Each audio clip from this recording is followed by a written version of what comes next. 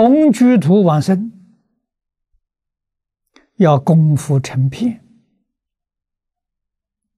烦恼确实没断。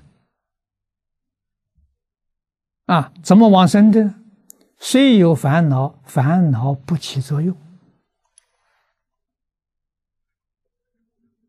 你这一句佛号功夫得力，能够把烦恼扶住，并没断。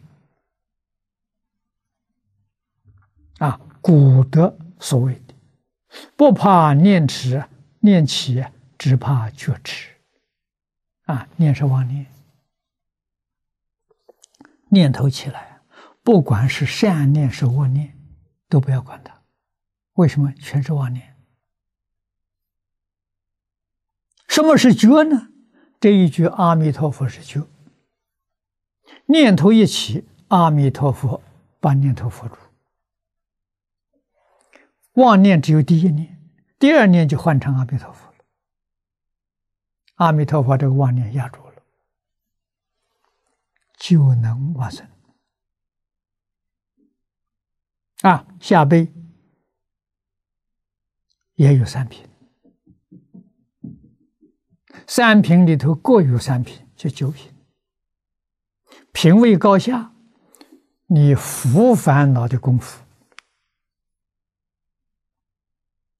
从这个地方自自然然现出。品位不同，凡圣同居土上三品。啊，这就下辈往生了。啊，下辈的上品往生就自在了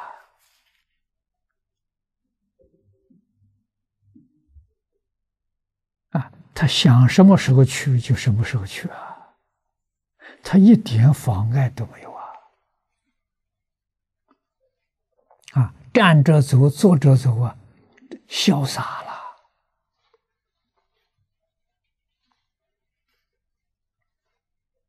你说这个功夫，我们要不要练？如果真的要想练这个功夫，没有别的，把世缘看淡。看清，你就能提升到这功夫。啊，不要太重视这个世界，一定要晓得这个世界，所有的一切，就像《金刚经》上所说的：“凡所有相，皆是虚妄。”一切有为法，如梦幻泡影。你能做如是观。就对了，烦恼并没有断，能帮助你除烦恼。啊，心里面呢只有一句阿弥陀佛，除阿弥陀佛之外什么都没有，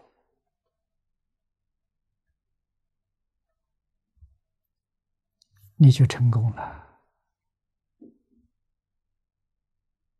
阿弥陀佛之外还有别的念头。那叫夹杂，把你的功夫破坏掉了。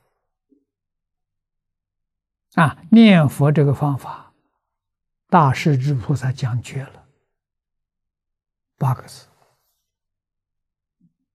度摄六根，净念相继。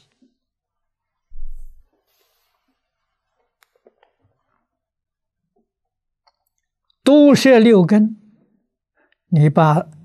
一切事看淡了，自然就毒舌六根啊？为什么呢？贪嗔痴淡化了，不是没有，有贪嗔痴，很淡了啊！这一句佛号给你做正上缘，你贪嗔痴虽有，它不起作用。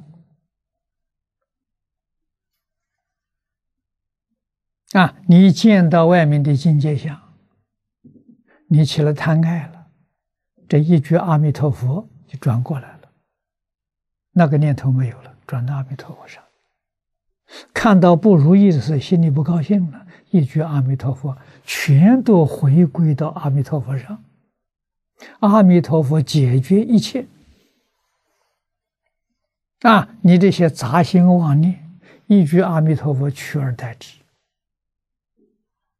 啊，用一念降服一切妄念，你把这个事情做成功了，这叫功夫成片。你老人家就决定往生啊！而且什么？而且你随时可以走，想什么时候就走，什么时候走啊！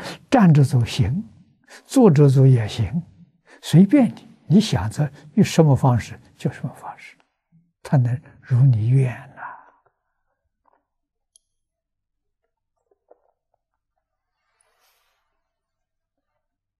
呐！啊！而且。我们前面读过啊，也讲得很清楚啊。无逆失恶，临终地狱相现前，也能有这个功夫往生。下辈上品的，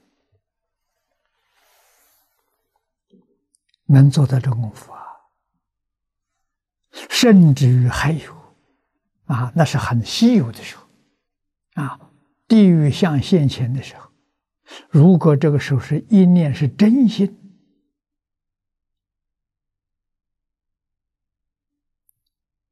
他会变成上辈上身，理上讲得通，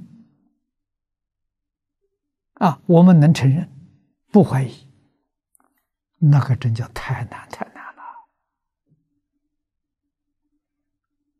啊，那是临命终时地狱相现前，把他吓坏了，把他的妄心吓掉了，真心现前了，真心一念佛号，上上品往生。你说理上理上讲得通啊，可是世上有没有这种人呢？很难。我们不能否定说没有这种人，啊，这种人可能有，但太少了。啊，真稀有难逢，理上讲得通啊！佛法是跟你讲道理的